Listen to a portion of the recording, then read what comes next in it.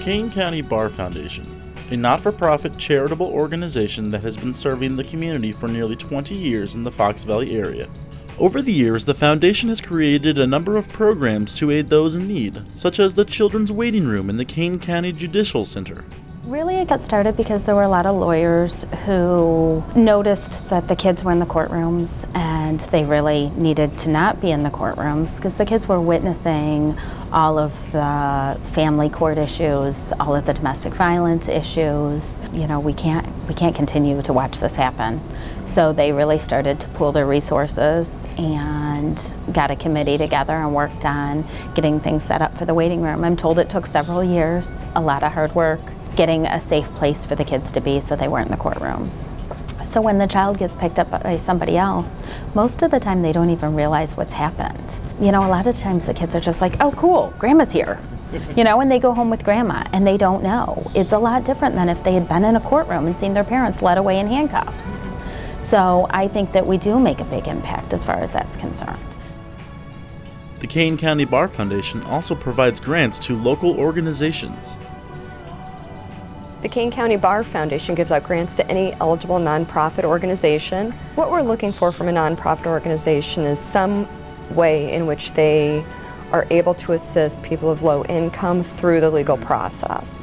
I work for Prairie State Legal Services. I've been receiving grants off and on from the foundations since they've been providing grants to members of the community. We reworked the grant process a few years ago to make it a little bit easier for people. We want to be able to give out as much money as we can back into the community. The good news is that the process that the Bar Foundation um, has in place is actually pretty easy to follow. They outline their expectations of us as the person seeking um, the, the the support, the money, and they also give us a sense of what their obligations are to us.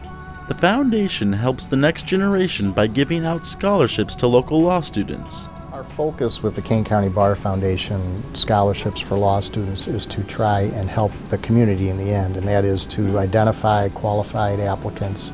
Uh, we've had the scholarship program since the inception of the foundation, so it's probably 1998. Um, it was probably the first year we gave scholarships, and we've done it every year since then. Uh, I received the uh, KCBF scholarship in 2008. Luckily, we've been able to gradually increase the number of scholarships. The price of law school has just increased drastically over the last few decades, um, and students are graduating uh, with more and more student debt. So the scholarship is one of those things that allows students to uh, relieve some of that financial burden and really just kind of focus on their education. The Kane County Bar Foundation recognizes those who aid in the community with their annual Pro Bono Award. The foundation focuses on helping youths in the area. One way is academically, via their annual mock trial. So the idea behind it is that um, young people would get an opportunity to uh, present a jury trial. And uh, some of the team sits as members of the jury, and then some of the teams will be either the prosecution or the plaintiff's case or the defendant's case, and they do everything that attorneys do, from preparing the case, preparing the witnesses, to doing opening statements, um, cross-examination, direct examination, redirect examination, and closing statements. It was it was great. I mean, it, it felt like it was so realistic. I mean, it was. It, I think it really, honestly gave me an idea of what an attorney has to do in order to prepare for a trial. Another way is helping troubled youths, this time with the Turning Point Juvenile Diversion Program. Well, Turning Point is a juvenile diversion program that we at the Elgin Police Department use as a means of youth intervention. And it is particularly designed for first-time offenders, those who have been arrested for misdemeanor offenses, uh, and it is a means for us to be able to establish uh, inner workings with life skills, leadership skills, and to address the matters um, from a more social standpoint. It's a four-week program. Um, Linda Williams, who is the coordinator uh, for the program, will contact me, let me know that she has received the referral and that everything has been um, provided for them to follow up with the parent. The referrals are made through the uh, schools or the police agencies.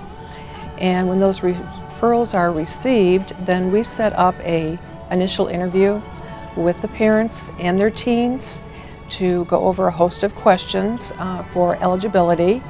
Uh, we like to deal with early high school, um, anywhere between the ages of 13 to 17 years of age.